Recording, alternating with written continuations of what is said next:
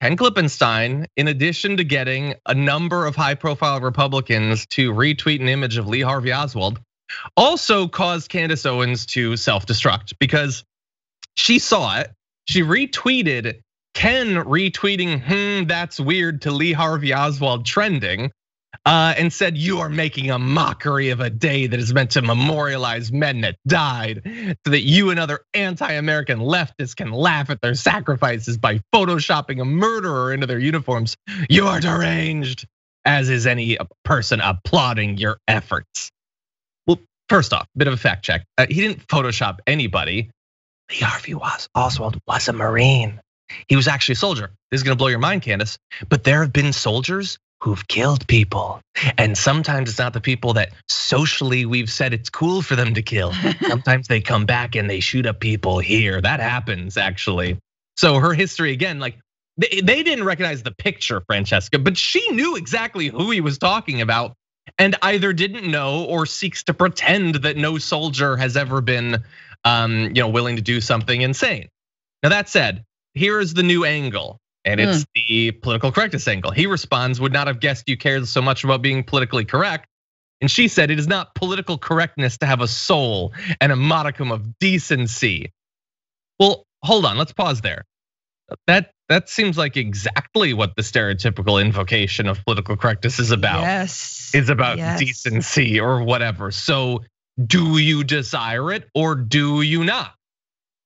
Because he is not like it's one thing maybe if you're expressing an honestly held belief that someone finds abhorrent. Ken definitely doesn't actually love Lee Harvey Oswald. This is a joke. You cannot like the joke or like it. You can laugh or you can not laugh, but he's definitely joking. And I'm not the one who made our national conversation about political correctness and cancel culture like 80% about what comedians can do. Yep. They did that. Yep. They every single right-wing comedian has a special called Triggered or whatever at this point. So, so true. can you joke about stuff that's politically incorrect or can you not? Francesca, you're a comedian. Answer for them. Oh my God, I'm not gonna answer for like boomer comics who are fading from glory, who aren't smart or creative enough to write better material. Um, their jokes are aging, but this is you're exactly right when you talk about yeah, political correctness is just having a certain amount of decorum. It's just not, it's actually trying to respect people a little bit. You know, whether or not it's what pronoun they prefer to be used, whether it's, you know, uh, understanding like their histories and legacies of racial oppression. Uh, I don't know. It's the same thing as someone's family member dies, having a little bit of respect and like saying you're sorry and you know how's it going like like literally but when it comes to the troops when it comes to the troops when and the right it is blind allegiance and loyalty they can do no wrong and they are 150% perfect because our American military is perfect. Everything we've ever done. The My Lai massacre in Vietnam, untold civilian deaths, no, that is perfectly fine. You know, and that is that is what the left and progressives what we call BS on. We call BS on having a military that is beyond critique and soldiers themselves call BS on that. Why? Because that culture of we can never critique the military puts them in danger because it promotes idiots and a-holes who shouldn't be there, who are sending them into danger strategically, as well as it promotes rapists and assaulters inside the military when someone is being abused and abusing others, you know, and on on bases in so many instances. And finally, you know, Ken's Ken's joke was that exactly that. It was a joke and it's funny. But man, there is a tinge of sorrow to that because you realize, you know, this is whatever 50 years ago when JFK is assassinated and that was a Marine and yet we still have untold numbers of servicemen and women coming back extreme PTSD, people yep. who've been radicalized by the military, who've been even more um sort of convinced of some sort of like, you know, grand conspiracy or terrorism is everywhere, Sharia law. You look at the number of servicemen, former servicemen and women who were stormed the Capitol on January 6th. Yeah. The military has a problem and police officers, and we know this. And so once again, it's not unpatriotic to say we can do better, and it's not unpatriotic to criticize wars we should have never been in the first place. And my God, veterans have been leading the way on this for so long and get the F out of here. You don't give you do not care about veterans because yeah. you don't take care of them and you step over them if they ever would ask you for money in the streets.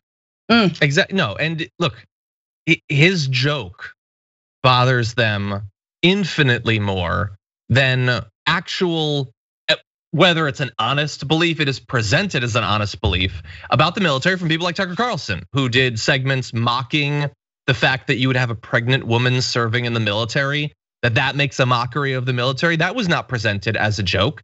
I don't know that he believes it because that means that he actually thinks about politics and then expresses the thoughts. I don't think he puts that much into it, but he said it on his news show when Ted Cruz is like, "Oh, they're doing political, they're doing ads for the military where like they talk about diversity and stuff." That that's feminization of the that's not a joke. He's actually saying having people like this serving in our military makes us weaker. So where's Candace Owens' anger about that? No, it's the yeah. joke that does it. Candace Owens, who would have you believe that like if you were to burrow into her chest, you just find a beating heart love for free speech. No, she likes in the same way that literally everyone does some speech and not other speech. Now, that is true but it's not good for branding. And so they've come up with things like political correctness and cancel culture, which means that they get to say they're for all speech when not being for it. And anything the left has a problem with is fundamentally some sort of problem of them canceling stuff and being censorious or whatever. Now, Ken pointed that out to her, saying, I, for one, believe in free speech. Of course, at that point, she had either deleted her tweets or had blocked him. She did later actually block him, despite, by the way, she brought herself into this by quote retweeting him. He didn't target her. Oh, yeah. He pointed out funny how elastic the concept of political correctness is to her comment. And so I will just reiterate you can do one of a couple of different things. You can have an actual standard about political speech and stick to it. That's almost purely hypothetical because nobody basically has that. Or you can do what I have is have no standard, but not pretend to.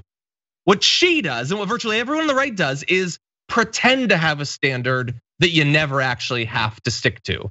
What I would say is let's do what actually occurs in reality that the conversations about political correctness and cancel culture seek to obscure, which is everybody gets to say and do stuff and you get to respond to it.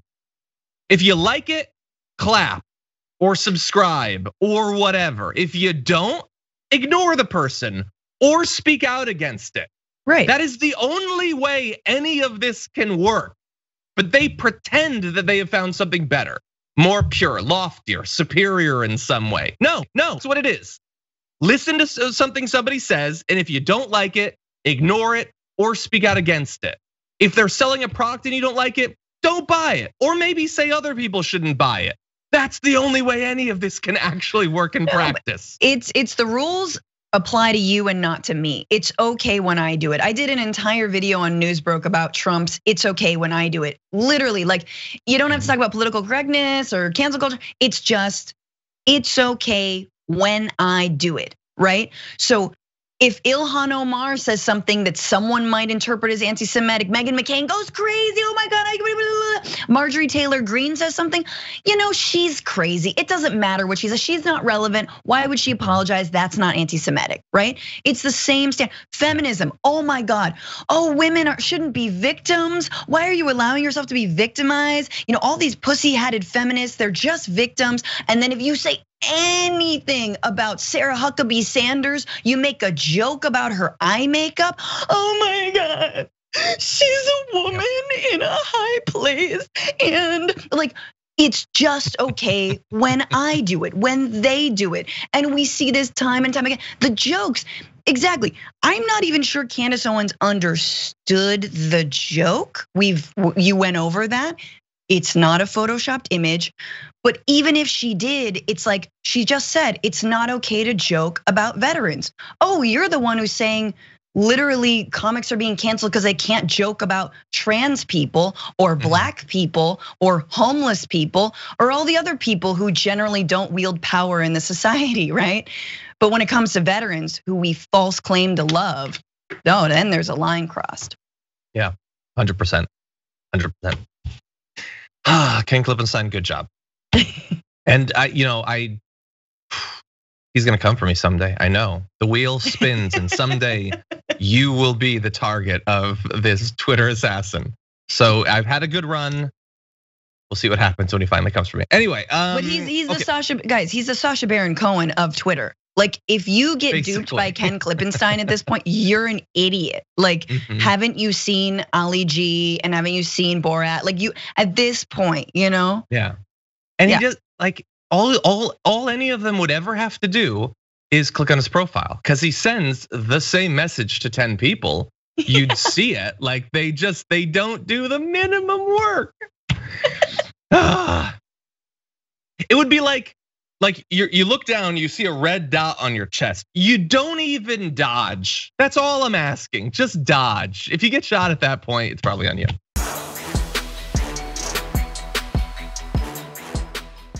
For more political news breakdowns, interviews, stories of activism, and me trying my hardest to care about the occasional big celebrity news story, subscribe to our YouTube channel at youtube.com slash the damage report. And you can ring the bell wherever it is so you don't miss anything.